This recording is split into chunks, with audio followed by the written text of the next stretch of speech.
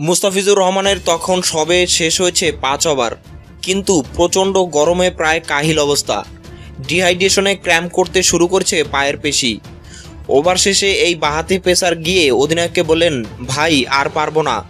মাশরাফি বিন মুর্তুজার মাথায় হাত। মুস্তাফিজকে ঘিরেই তো সাজিয়ে রেখেছেন স্লগ ওভারের পরিকল্পনা। ম্যাচ জিততেই হবে। অধিনায়ক হাল ছাড়লেন না।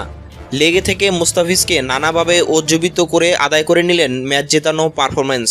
শেষ ওভারে মুস্তাফিজের অসাধারণ বোলিংয়ে রোববার আবুধাবিতে আফগানিস্তানকে হারায় বাংলাদেশ। শেষ ওভারে আফগানদের প্রয়োজন ছিল কেবলমাত্র আট রান। উইকেটে ছিলেন সামিউল্লাহ সেনোয়ারি ও রশিদ খানের মতো আক্রমণাত্মক দুই ব্যাটসম্যান। বাইরে অপেক্ষায় তখনও গুলবাদিন নাইব।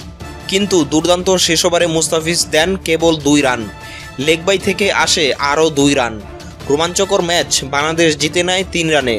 তবে একটা পর্যায়ে ওই শেষ ওভার পর্যন্ত যাওয়ার অবস্থায় ছিল না মুস্তাফিজ। শরীর টানছিল না, মন মানছিল না। পাঁচ ওভারের পর থেকেই পায়ে করেছিল ক্র্যাম্প। মাশরাফি তবুও তার কাছ থেকে আদায় করে নেন আরও চার ওভার। এদিন বল হাতে নিয়ে প্রথম বলেই মুস্তাফিজ নিয়েছিলেন উইকেট। প্রথম স্পেলের তিন ওভার করার পর পরের দিকের জন্য তরতাজা রাখতে তাকে বিশ্রামে রাখেন অধিনায়ক। আবার বোলিংয়ে আনেন তেত্রিশ ওভারের পর। সেই স্পেলেই দুই ওভারের পর থেকে ক্র্যাম্প করতে থাকে পায়ে। মাশরাফি তখন থেকেই তাকে বলতে থাকেন, যে করেই হোক, বোলিং চালিয়ে যেতেই হবে। দ্বিতীয় স্পেলেও করেন তিন ওভার। শেষ স্পেলের তিন ওভার শুরু করেন পঁয়তাল্লিশ ওভার শেষে। এর মাঝেই দেখা গেছে, পায়ের স্ট্রেচিং করছেন মাঠে। সময় নিচ্ছেন, লড়ছেন নিজের সঙ্গে। সেসব সামলেই ওই বিরচিত শেষ ওভার।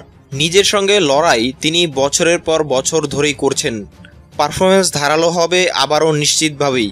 কিন্তু এই যে প্রতিকূলতার সঙ্গে লড়াই, নতুন বলে বিবর্ণ থেকেও পুরনো বলে গুরুত্বপূর্ণ দুইটি উইকেট নেওয়া, মিয়ে যাওয়া মুস্তাফিজকে তাজা করে তোলা, কঠিন কন্ডিশনেও শেষ পর্যন্ত দলকে প্রাণবন্ত রাখা, সব মিলিয়ে এই ম্যাচও আরেকটি প্রমাণ দেয় কেন বাংলাদেশের ক্রিকেটে একজন মাসাফি অমূল্য।